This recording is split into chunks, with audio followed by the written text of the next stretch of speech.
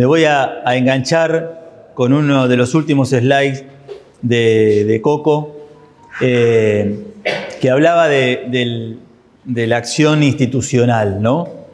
Eh, y de alguna manera, eh, pensando la presentación, vuelve a darse un momento para que se pueda construir, eh, no sé si algo necesariamente único, pero sí algo ordenado.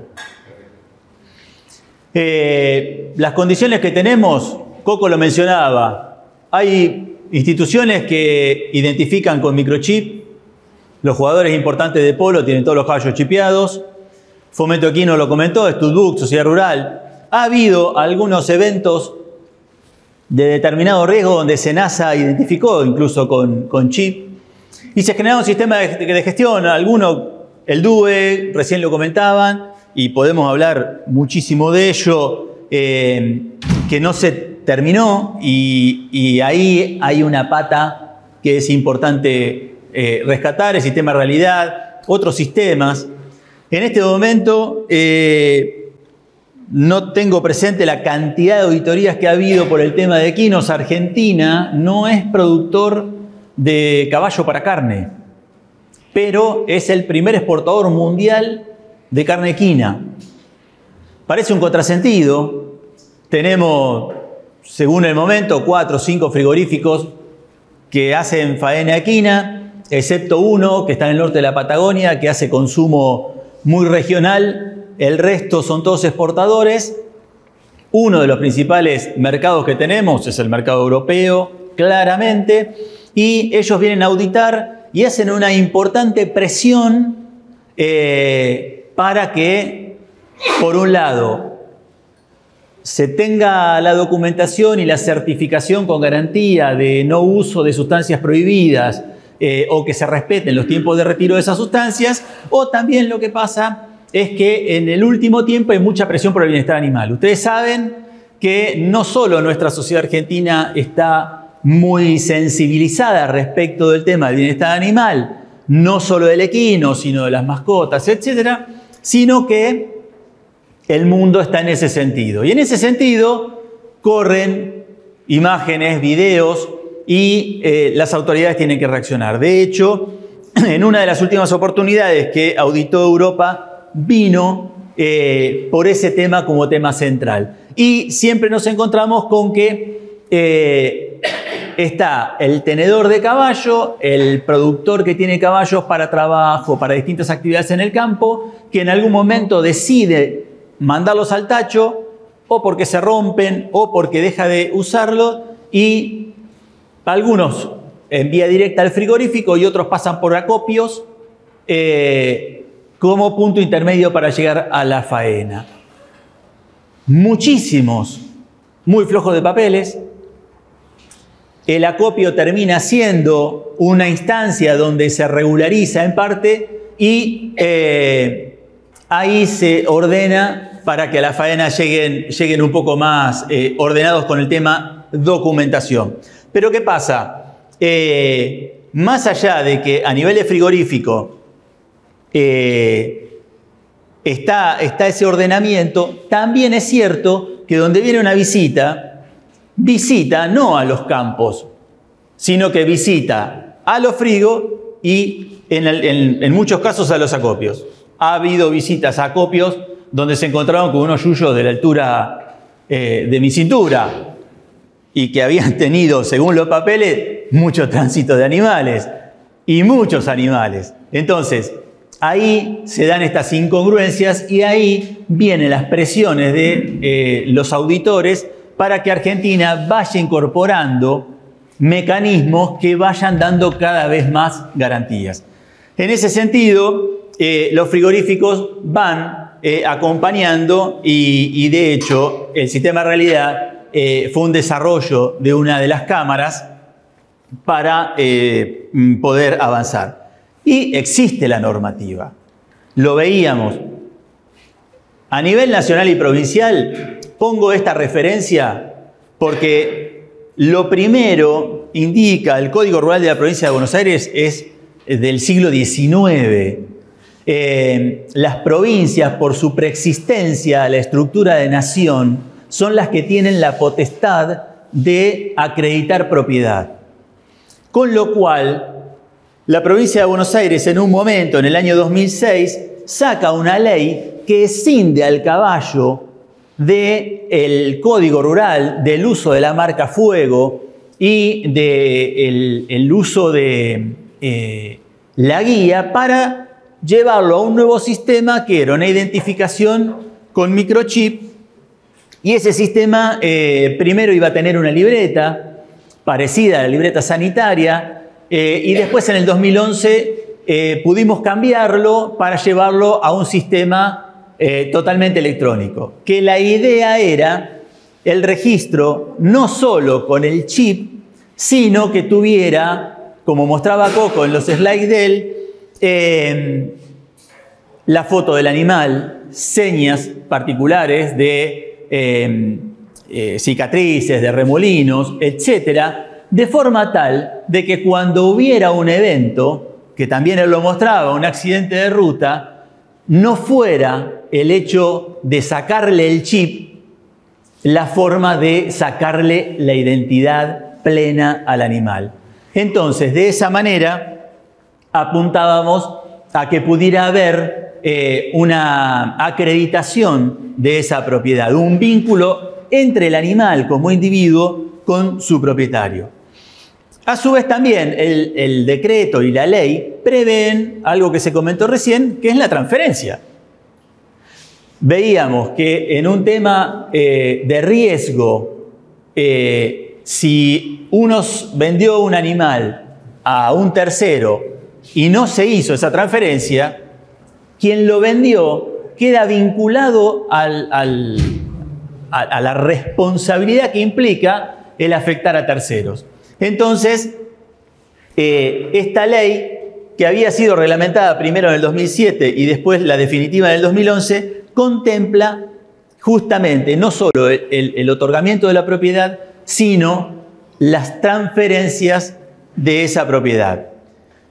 Hay una ley nacional de marcas y señales que en realidad eh, hace referencia a las formas de identificar mayormente, pero insisto, y en esto que quede claro, las provincias son quienes otorgan propiedad. Por eso esto del vínculo interinstitucional se hace más complejo. ¿Por qué? Porque hacer un sistema nacional implica el involucramiento de los gobiernos provinciales. En el 2015 eh, aparece por primera vez en una resolución la utilización del microchip como metodología de identificación. Fue en la creación del RENI, el registro que también se comentó, lo comentó Coco hace un momento, y que de alguna manera con su creación tiene una serie de objetivos que persigue. Ahora, detengámonos un momento. Tenemos a las provincias que cada una acredita propiedad. Tenemos a Senasa que acredita sanidad o que certifica sanidad. Eh, tenemos en Argentina, a diferencia de otros países, que tienen concentrada en el Estado eh, distintas actividades, como por ejemplo genealogía, como por ejemplo pruebas deportivas o pruebas de producción. En el caso de Argentina, incluso por ley, está tercerizado a instituciones. Fomento Equino es un ejemplo, la Sociedad Rural Argentina es un ejemplo, donde existe una ley que les da la potestad de poder llevar sus propios registros. Entonces, cuando se arma un registro eh, nacional eh, y se plantea una imposición en ese sentido, después tiene que haber una catarata de sistemas, de interacciones, de interconexiones que hagan que eso tenga realmente valor.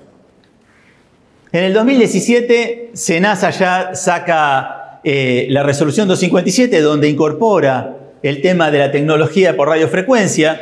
Esa fue una modificación de una resolución 754, que fue la que había impuesto la identificación individual por caravana a todos los bovinos del país. Eh, y, lo extendió a otras especies e incorpora eh, la radiofrecuencia. En el 2018, también el marco reglamentario para la provisión de equinos a faena, es este mismo tema que estamos conversando, eh, incorpora la identificación por radiofrecuencia, en este caso en una caravana. En el 2019 se establecen los requisitos para que eh, los proveedores tengan una, un cumplimiento unificado en el 2019 se crea el Sistema Nacional de Identificación Electrónica de Animales, que lo hace optativo para una serie de especies y es obligatorio para el equino. Inclusive hay desde el 2016 un proyecto en el Congreso de la Nación que entró por diputados para eh, la creación de eh, un sistema de identificación electrónica para caballos con tratamiento legislativo. Entonces, la normativa existe.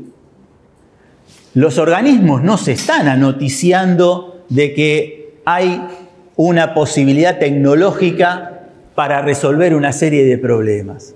Es cierto, tenemos un país muy extenso, es cierto, a veces transitando dentro de la ciudad de Buenos Aires o entre Buenos Aires y Cañuelas nos quedamos sin señal, hay lugares donde no tenemos la posibilidad de transmisión de datos. Sí, Ahora, también es cierto que cada uno de nosotros tenemos en nuestro poder un dispositivo que lee, que almacena información, que puede transferir información cuando tiene la posibilidad, y lo cierto es que es mucho más seguro. Cuando hicimos el cambio del decreto reglamentario de la ley del DUE, les decía, de ese del 2007 al del 2011, en realidad era darle seguridad.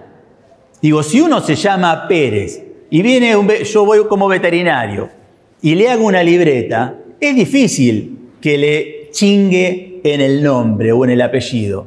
Ahora, si ese apellido es Rollhauser, la cuestión es mucho más compleja. Y si yo, como elaborador de esa libreta, originalmente identificando a un animal, le pongo mal el dato, inutilizo un trámite que en realidad el propietario de ese animal lo quiso hacer, lo hizo bien, puso todo su empeño y su eh, inversión. Entonces, el hacerlo de manera electrónica da la posibilidad de que la verificación de los datos del propietario se haga contra la base de datos del RENAPER o contra cualquier otra base de datos del Estado que pueda dar eh, certeza de la información de la persona.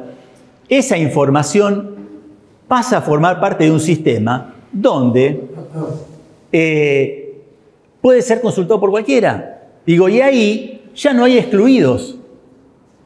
Puede convivir el, sistema de eh, fomento equino con el sistema del DUE, con el sistema realidad, con el... Sí, si cada uno tiene su propio interés. Sí, si cada uno tiene su propia clientela. Entonces, lo que se necesita y un poco el objetivo de esta presentación es que aparezca el Estado unificando y en esa unificación todo el mundo tenga las referencias de cómo participar. Cuando aparece la identificación electrónica, Coco decía hace 40 años, aparecen dos normas ISO, la 11784 y la 11785.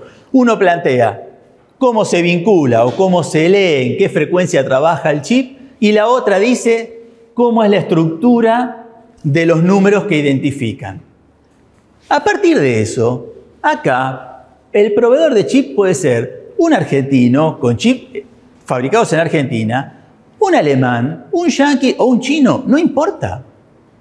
Y eso hace de que el mercado sea mucho más competitivo y que sea mucho más este, transparente.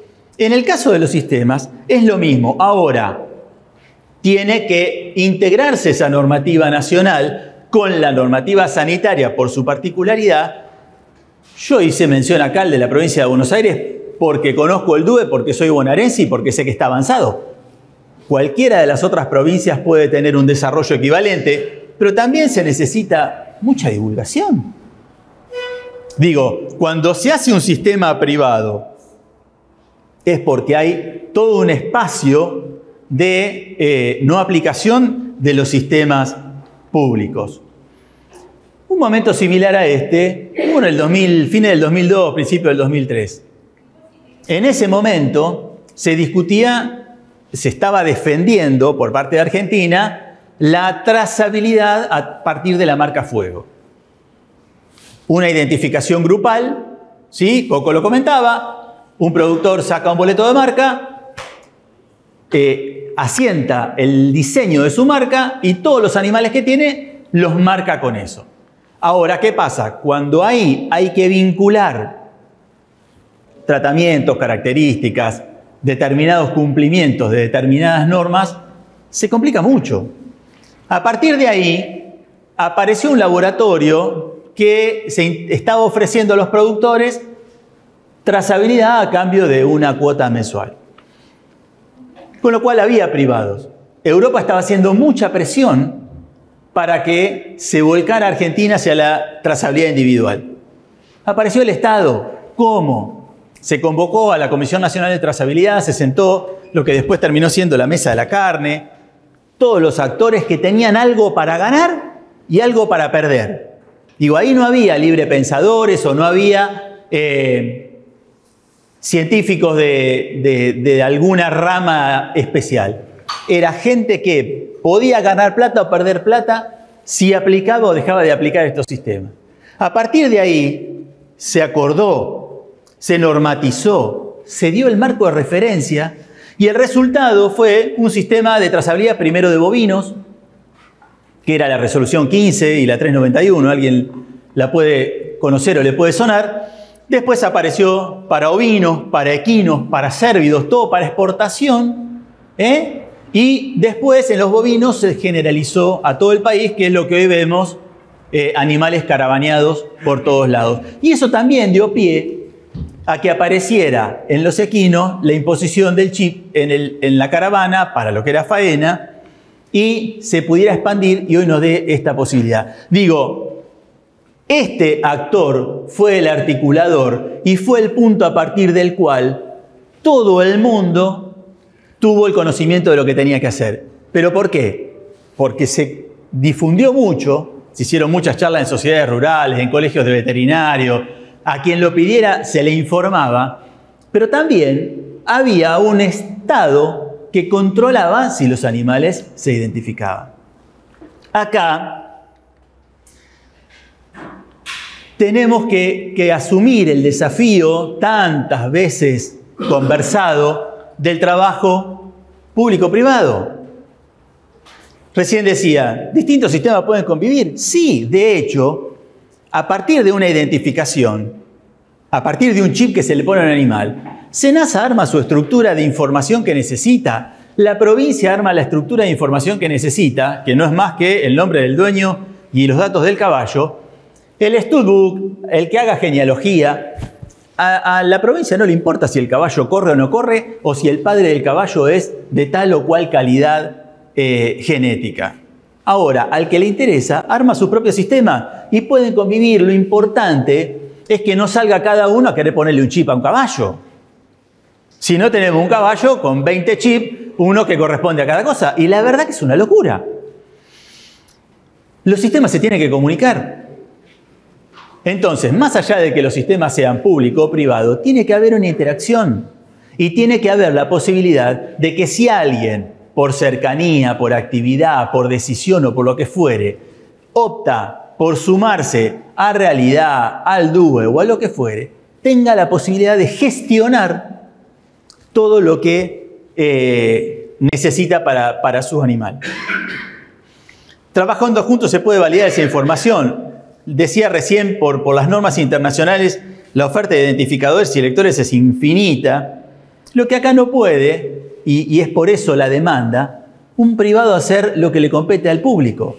Digamos, por más que se quiera, no se puede avalar eh, propiedad. Entonces, aprovechando las capacidades, el privado puede invertir con mucha más agilidad. El Estado tiene una serie de leyes administrativas que le dificultan bastante hacer algunas inversiones.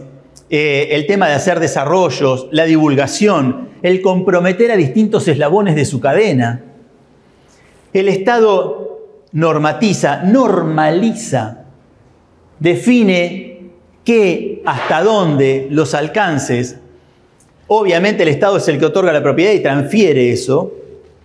Es quien certifica y vela por el estatus sanitario, certifica las exportaciones y un detalle que no es para nada menor da de baja de los sistemas. Porque todos podemos ir a identificar animales, mascotas, caballos, bovinos, darlos de alta, pero después tiene que haber un mecanismo para darlo de baja. Si el animal se faena, ahí tengo el mecanismo. También, si el animal se muere en el campo, puedo tener la denuncia. En el caso del DUE, teníamos la instancia de la faena, de la denuncia, y si ninguna de las dos cosas ocurría, el animal se daba de baja después de 30 años. Uno infería que un caballo no tiene normalmente una sobrevida mayor a eso, y en el caso de que la tuviera, podía hacerse alguna declaración y volver a darlo de alta. Iban a ser casos sumamente puntuales.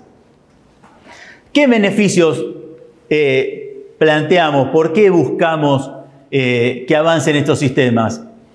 Según y Coco lo comentaba, eh, según el Código Civil, todo aquel elemento que no es de registro es un bien mueble que uno acredita por su tenencia. Esta camisa es mía porque la tengo puesta. Un caballo es mío porque es mío. De hecho, si hay alguna discrepancia en la propiedad de un caballo, lo reclama un vecino, el, mecanismo que tiene el Código Rural es que venga con dos testigos. Entonces, eh, si se genera o se generaliza el registro, el animal pasa ser un bien de registro. Con lo cual, ya directamente es mío porque tengo un papel que lo acredita, como tengo el del auto, como tengo la escritura de mi casa. El tema de seguridad. Coco mostraba lo de los accidentes, es terrible y es una realidad. Se le corta la marca y no te enterás a quién reclamarle. Habíamos pensado, estos sistemas electrónicos te permiten vincular al momento de la identificación una foto, mayor carga de información, que si alguien quiere zafar en un, caso así, tiene que cuerear al caballo prácticamente. Se reemplaza en los procedimientos de policía. Hoy, si me roban un caballo, lo denuncio. A partir de la denuncia, si la policía encuentra el caballo, me avisa y tengo que salir a recorrer los lugares donde está eh, resguardado para que lo reconozca. Si lo reconozco, me lo devuelven y si no lo reconozco, bueno, espero hasta la próxima llamada. Si un animal está identificado electrónicamente, prácticamente me llaman y dicen, che, Juan, tengo tu caballo. O, Juan, este caballo está acá, ¿está bien o no está bien? Eso también hace que se se desestimule el robo eh, en el ámbito rural. Cañuelas en algún momento tuvo una dinámica de mucho robo de caballos que cortaban alambres y transitaban para el lado del conurbano. Algunos decían que los fanaban, algunos decían que los vendían, algunos decían que iban al frigo. Lo cierto es que quedaban los alambres cortados, salían bovinos y el riesgo era muchísimo mayor. Pero a su vez, había mucho, eh, mucho temor en la gente de campo cuando veía gente merodeando eh, y, muchas veces, a veces eran adultos y a veces no tanto. El tener eh, estas herramientas disminuye el abigeato, disminuye la búsqueda de caballo y disminuye la inseguridad en el ámbito rural. En cuanto a lo que es sanidad, el control de cumplimiento de los programas. Hablábamos de la vacuna hace un momento, hablábamos de la anemia.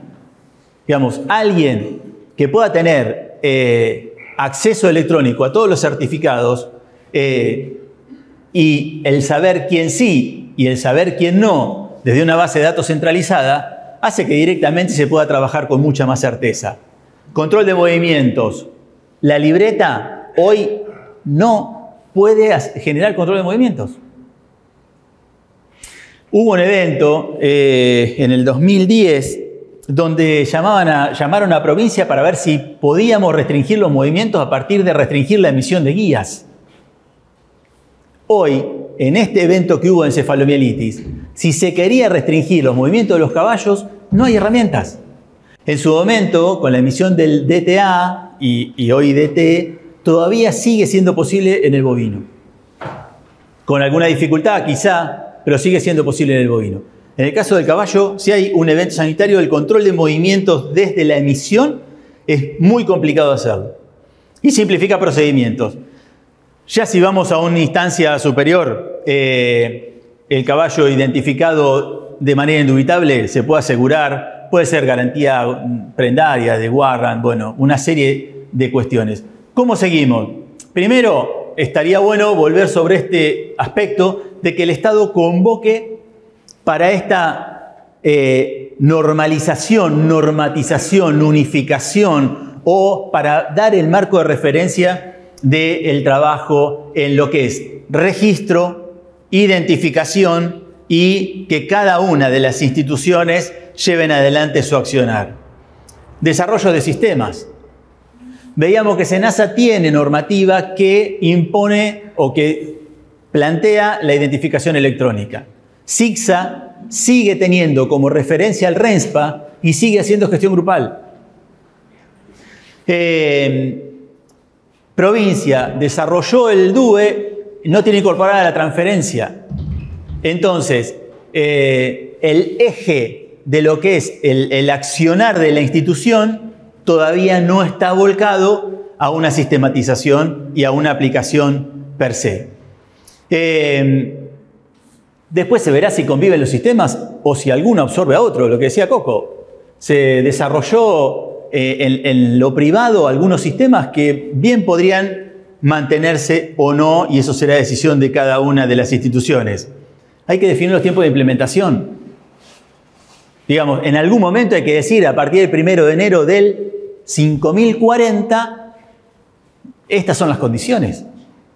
Es cierto que plantear el 100% de los equinos, en este caso estamos hablando de los equinos, identificados a lo mejor es una locura. Hay gente que tiene yeguadas tiradas en el fondo del campo, que solamente eh, sirven para fines reproductivos, que no se mueven, que no son riesgo. Ok, pero sí, el animal que se mueve tiene que tener una fecha a partir de la cual todas las fuerzas que hacen los controles tengan que tener su tecnología, sus lectores, para que se pueda eh, marcar como momento de implementación plena.